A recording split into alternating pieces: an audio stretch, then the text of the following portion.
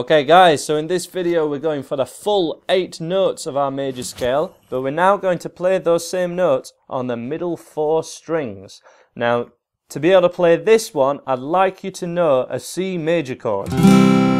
If you're not familiar with this C major chord, this may be something that you're going to find very tricky, and if that's something that you're not comfortable using in a song, this bit may be a bit more advanced for you, but it's still okay to have a go at it. I'm just showing you the level that you should be at to kind of take this on. What I would like you to know as well is that we have um, that same C note, the first note of your C major scale, is the root note of the chord and the first note of this scale. So the chord and the scale are going to be the same thing. In fact, if you're playing this C major chord, we uh, are already playing half of the notes that are in this scale and most of the other ones are just the open strings. So that C major chord is really vital before you take this on. Um, again, I'm going to use the same fingering as this C major chord. So any notes that happen on the first fret, we're going to use our first finger.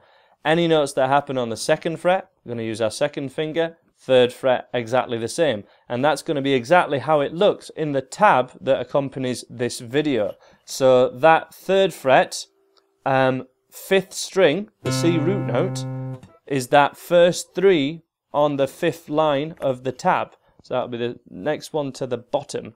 Um, and the tab is kind of upside down from how the guitar is strung. So because this is a low note, it's at the low side of the uh, of the tab. But let's start off, make a start. So we have that first note, the third fret on the fifth string, our C note, the first note of our C chord. And then we go to open fourth string. So Do, Re, a C to a D. Then we have a middle finger at the second fret of that same string, of the fourth string. And that is our Do, Re, Mi. C, D, E. First three notes. The fourth note is the next fret up, so the third fret of that same string. So, correct fingering. Again, I'm still using a pick from before. You can rest it on the bottom of the guitar, but it can be very handy at this level to start resting on your thumb side, on the palm of your thumb. And I have all my forearm resting against the guitar like this. The next note, after that fourth one, is the open uh, third string, the G string. One, two,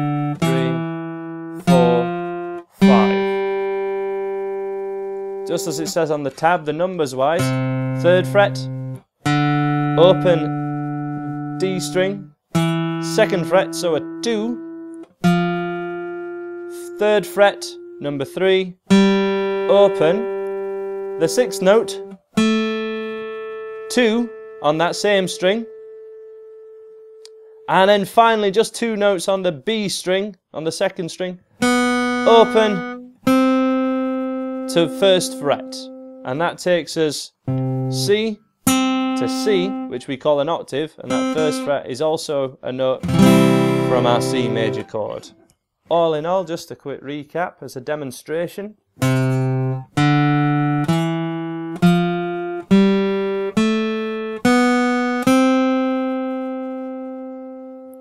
And then we can also come down this set of notes as well in reverse order and it's knowing that order going ascending, so down the fretboard, and then descending, coming up the fretboard, but kind of down in pitch, um, that is so important to grasp before you go for too many melodies. Um, this is exactly the same as knowing your ABC when you're learning how to read and write as a child.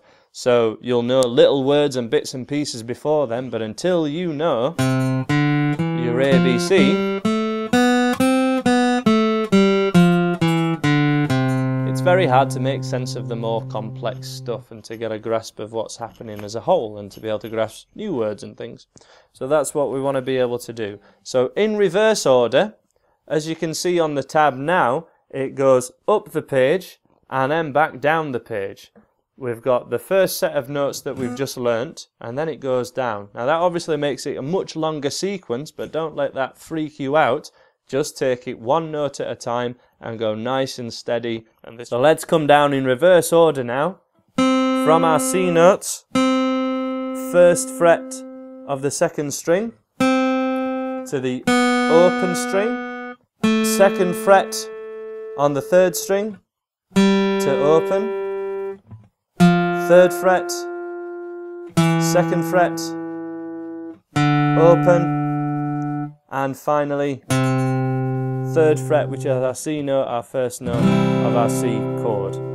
Um, as long as you're not using your first finger for everything, I'm not going to be too critical at this stage of which fingers you're using. You can use the same fingers as each one, or you can see that sometimes I'm using my first and second finger exclusively because it's more comfortable. Do whatever feels right for you because um, different people have stronger and weaker fingers and we'll learn to kind of train them all up to be able to do absolutely anything you want to do on guitar at a later stage but this is aimed to get you going to, to start you off as the first bit of kind of music theory that you will uh, you will be playing.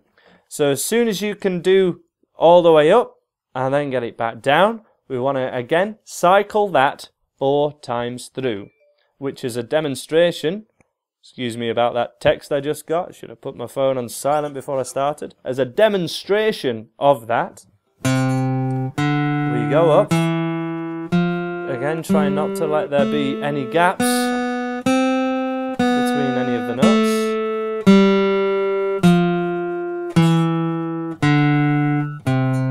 And then turn around and go straight back.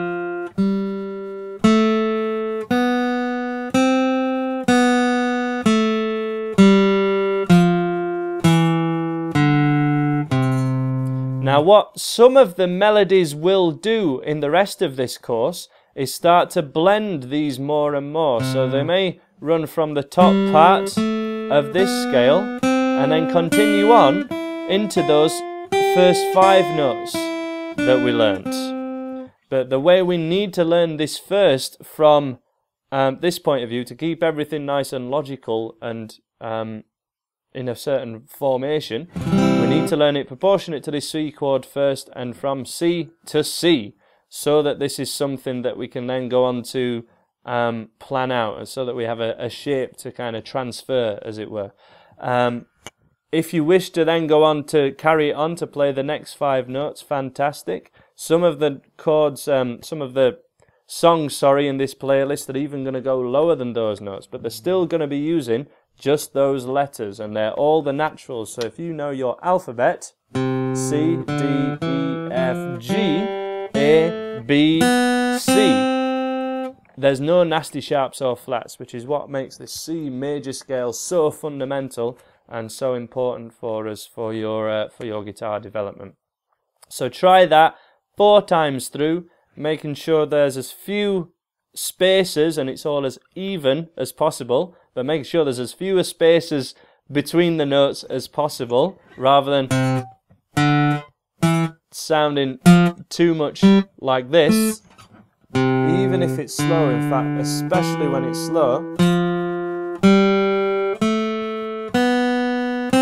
Try and let there be as few of those spaces as possible and that's how we're going to get this sounding really good. Once you can do that get straight onto the playlist of songs and the rest of this playlist that's going to be using um, the notes from here. We got a couple of Fleetwood Mac tunes in this uh, playlist, so um, something that's going to be really, hopefully you guys are really going to like and um, get straight on to check out those videos. Please subscribe if you like what I do and um, I'm sure I'll see you guys again. Thanks for watching, bye for now.